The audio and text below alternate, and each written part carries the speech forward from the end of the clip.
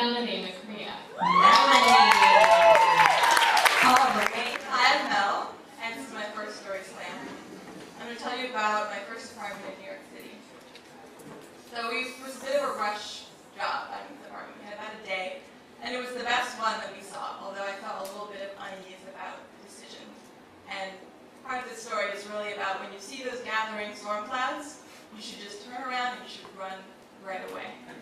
Um, so I, I got into the apartment. The first thing that should have tipped me off that it was a bad idea is there were no walls. We had external walls. We had bathroom walls, but there were no bedroom walls, and there were three of us. So it was a little bit uh, tight and awkward during the construction, which continued for about a month after we moved in. So this is my first professional job, first job I have to dress up and kind of present a really nice uh, self for the work world.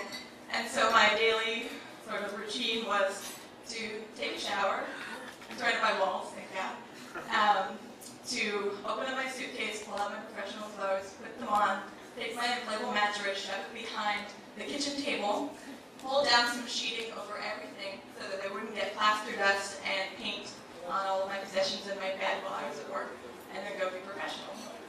Um, so that was a lot of fun. Um, and really the person who was supposed to shepherd us through this whole experience was our super. His name is Dave. And um, the way that I met Dave is that it was about 7.30 in the morning on Saturday, and my bedroom was directly above his bedroom. He was in an apartment downstairs. And I heard, I woke up actually, to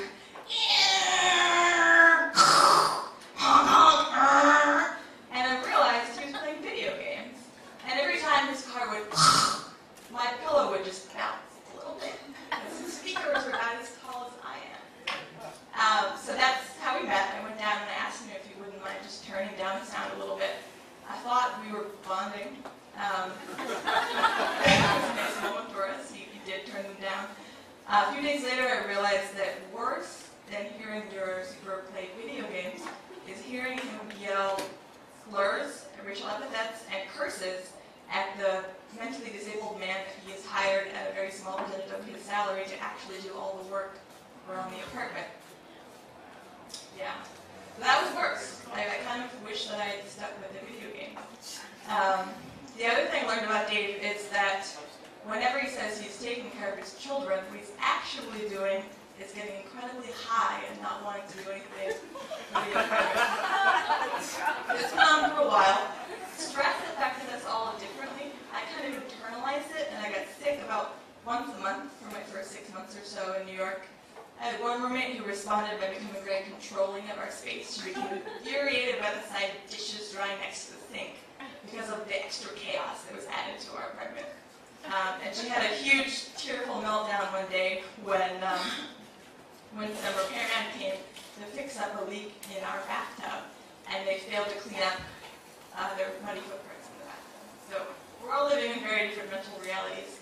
My, my third roommate coped by drinking and by having a lot of fun, leaving things open and unlocked. She gets a little careless uh, when she drinks, turns out. And so this really leads us to the eye of the storm for me personally.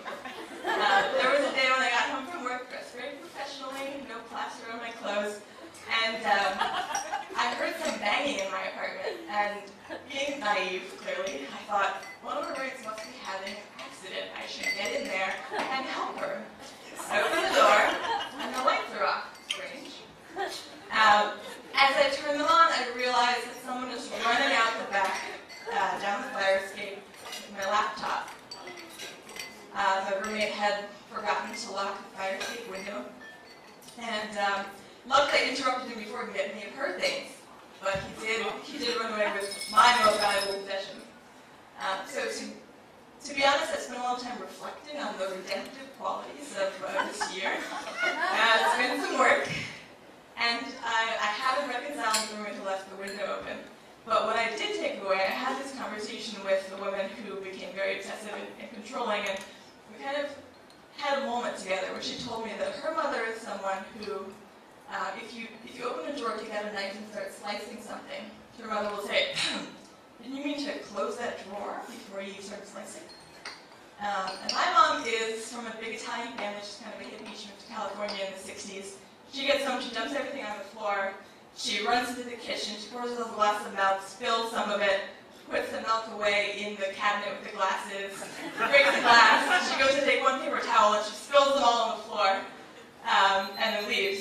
And so the fact that we could cohabitate for a year through all of this, and our friendship is intact, I think has some really wonderful uh, greater meaning for the world and the potential to, to have peace and cooperation.